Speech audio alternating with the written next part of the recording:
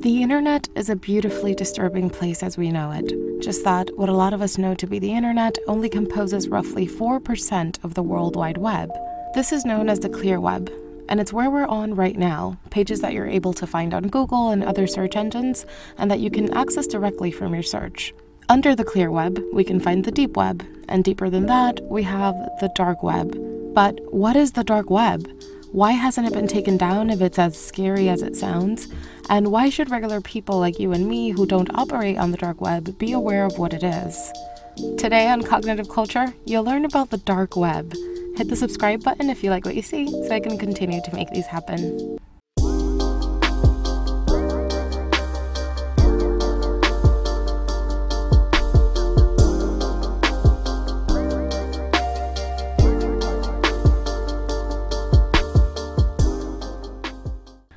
To help illustrate the concept and difference between the webs, I'd like to use the proverbial iceberg, where we can see about how much of the internet is occupied by what, so you can kind of visualize the takeaway here.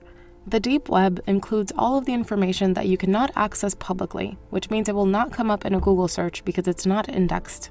It can be conventional pages protected by a paywall, which is when a website doesn't let you move on until you pay the subscription fee but also files saved in Dropbox and files saved in the servers of your provider, government information, educational journals, and a lot of other information that for one reason or another isn't indexed on the clear web. Not necessarily dangerous information at all, just kept away from the general public. The dark web exists below the deep web, but also as part of it. It's like a terribly dangerous street in an already anonymous neighborhood. Unfortunately, really bad people exist in the world and while they're a very small percent of any given population, the majority of them are on the dark web, since here they can communicate with each other about sinister topics, buy and sell illegal things ranging from drugs all the way to sex and people. So, where did the dark web come from? Like other areas of the internet, the deep web began to grow with the help from the US military, which sought a way to communicate with intelligence assets and Americans stationed abroad without being detected. Mathematicians at the Naval Research Laboratory began working on the concept of onion routing in 1995. Their research soon developed into the Onion Router project with funding from the U.S. Defense Advanced Research Projects Agency, DARPA. Which answers the next big question how do people get to the dark web? To enter the dark web and all of the websites in it, you have to download a special browsing software, like the one I just mentioned, Tor, the Onion Router. This browser disguises your identity by moving your traffic across different servers and encrypting that traffic so it isn't traced back to you.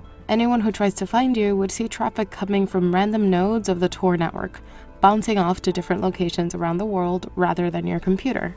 Your IP address would jump from the US to India to Germany and most other countries in a matter of minutes, rendering you untraceable.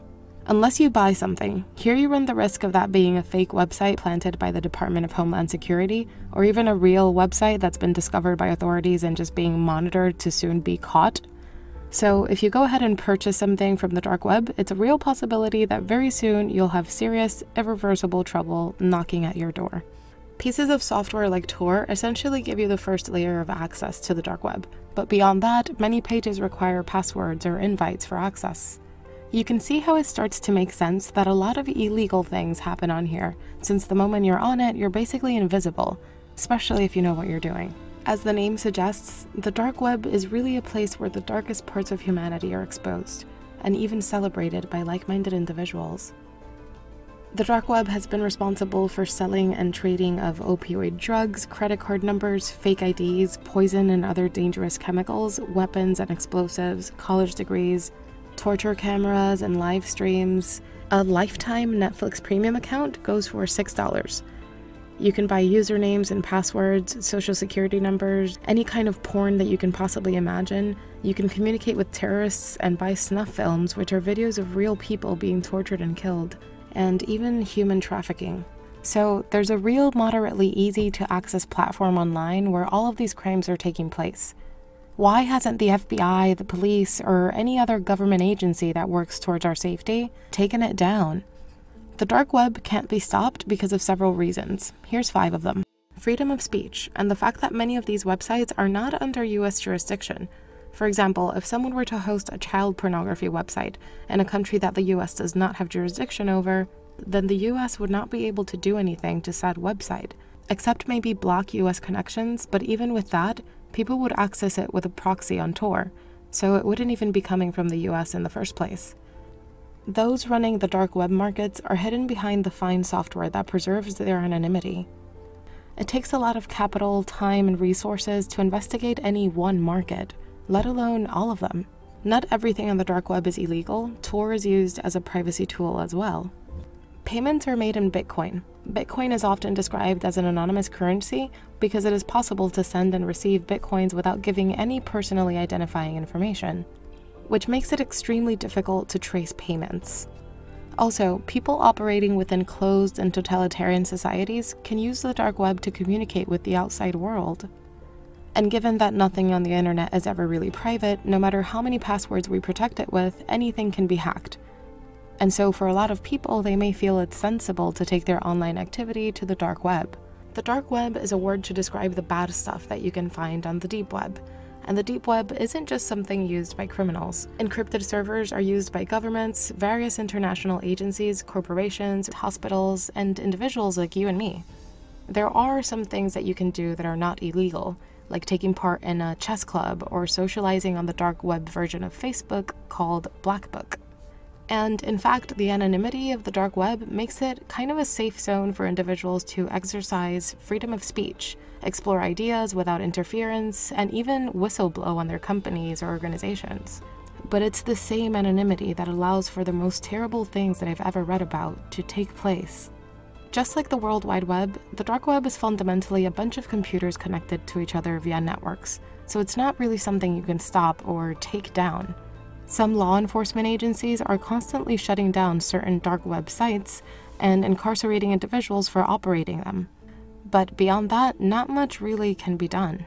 Some of you might remember the 2013 crackdown of the dark web's most notorious former black market, the Silk Road, which was worth over $1 billion in sales and busted a million customers who had purchased all kinds of illegal things and services. But the dark web is still going well and strong, with countless other black market sites opening up and millions of dollars still being exchanged via cryptocurrency every day. While it's really scary and anxiety inducing for sure to talk and learn about things like the dark web, it's important that we know what's out there since it can help us navigate the world a bit safer by making us take extra precautions. A hacker stole healthcare data from nearly 10 million individuals and then listed that for sale on the dark web for 96,000 to 490,000 in Bitcoin. The sensitive information included things like patients' names, birthdays, addresses, phone numbers, and social security numbers. This kind of information is valuable because it can be resold again and again. So, what does this tell us? It's letting us know that our private and sensitive information is drawing a lot of attention from hackers and causing black market buyers to purchase and sell our data for all kinds of purposes. Our healthcare providers, our banks, and the countless apps and websites that we give access to our personal data to range differently in levels of security. By being aware of how these things work and what's really out there, you can probably start to behave in a safer way online by actually reading some of the terms and conditions that you agree to, not giving up your information to shady websites just for a discount or a promo code or something like that, and being safe about online dating too, because there's countless people, especially women, who have ended up in really bad places on the dark web and off after meeting someone online or even in person and maybe trusting a little bit too much too soon. Just like most things are digital now, so is very serious crime. I wanted to shed some light on this in an attempt to promote safety and for you to not do things I've done several times, like making every single password in your life the same. Don't do that. I know that after learning more about things like the dark web, our morbid curiosity might lead us to want to visit it. If you'd like to do that just out of curiosity, well, remember that kind of killed the cat. If you're set on exploring the dark web, I would also get a VPN, possibly a paid one, on top of using the Tor browser just to be safe, since there are a lot of hackers just waiting for people who don't know how to navigate the dark web so they can hack into their computers. Some things on the dark web might look like links, but they're really not. They're actually a bug that can collect all the data from your computer. So just be safe, on and offline. That's all I have for you guys today. Thank you so much for watching. Please hit the subscribe button for more thoughtful content. It really helps my videos reach more people. Please let me know in the comments below if you would ever dare visit the dark web. If you have, how was it? Also, would you like to see a video on the entire history of you? I'm always excited to talk about humans and where we came from, so let me know. Stay curious, you guys. Give this video a thumbs up and hit the subscribe button for more thoughtful content. I will see you next time. For my subscribers that have been waiting for my very promised and anticipated Q&A, it's coming very soon. I ordered some equipment for lighting and sound in an attempt to deliver really good quality for you guys since I'll be on camera for my Q&A.